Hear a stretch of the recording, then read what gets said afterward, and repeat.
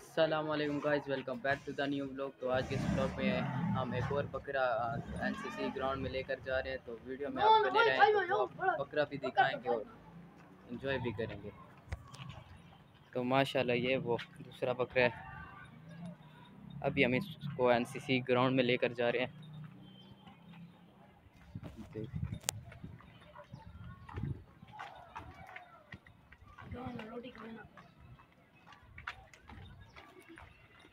तो ये भी मेरे उस दोस्त का बकरा जिस आज जो उस दिन हम लेकर गए थे, बकरा।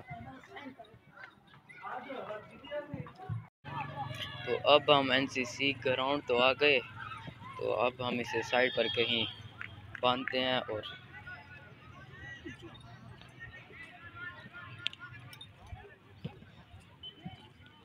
तो आप एनसीसी ग्राउंड का व्यू भी देख लें।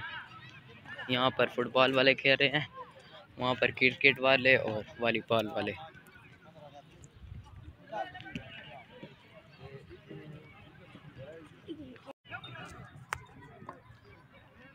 तो फाइनली हम एनसीसी ग्राउंड तो पहुँच गए तो बकरा जो है वो यहाँ पर घास खा रहा है और आ, हम यहाँ पर बैठ गए। तो अब इसकी भी नस्ल का पता करते हैं जो पहले वाला बकरा था वो तो आ, सिंधी नस्ल का था उसे मुंद्रा भी कहते हैं और इसका भी हम पता करते हैं। तो अब हम इसकी भी नस्ल का पता करते हैं और क्या खाता है और क्या। तो आप बताएँ ये बकरा क्या खाता है? ये खाता है भूसा हाँ। और खल हम्म। और डाला और ठीक। और नस्ल क्या है इसकी? मिसाल इसे दमानी कहते हैं। दमानी। दमानी। अच्छा। तो इसकी एज क्या होगी? एज इसकी होगी दस महीने ग्यारह महीने। अच्छा। कुर्बानी के लिए? जी कुर्बानी के लिए। ये कब आपने लिया था? इसे सात महीने हो गए हैं सात आठ महीने। अच्छा इसे घुमाने ले, ले जाते हैं आप? जी ले जाते हैं। कब? हाँ इसे सुबह ले जाते हैं। रोज़ाना? रोज़ाना। अच्छा। कल ये थोड़ा ऐसे बुखार की तरह इसे लग रहा था कल ये घास भी नहीं खा रहा था कुछ भी नहीं खाया। अच्छा फिर इलाज किया? है फिर इलाज किया अभी शुक्र है अब सेट है। अब घास भी खा रहा है। तो अब हम बकरे का आखिरी राउंड लगवाते हैं, फिर चलते हैं घर की तरफ़।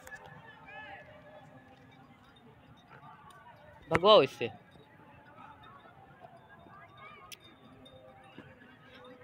भाग भी नहीं रहा आज तो।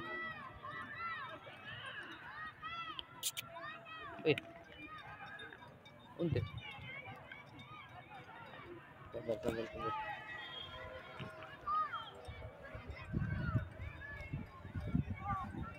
तो बकरे का आखिरी राउंड भी हमने लगवा लिया। अब हम चलते घर की तरफ़ तो ब्लॉग करते हैं यहाँ पर। एंड तो चैनल पे नहीं हो तो चैनल को ज़रूर सब्सक्राइब करें। ले जाओ इसको।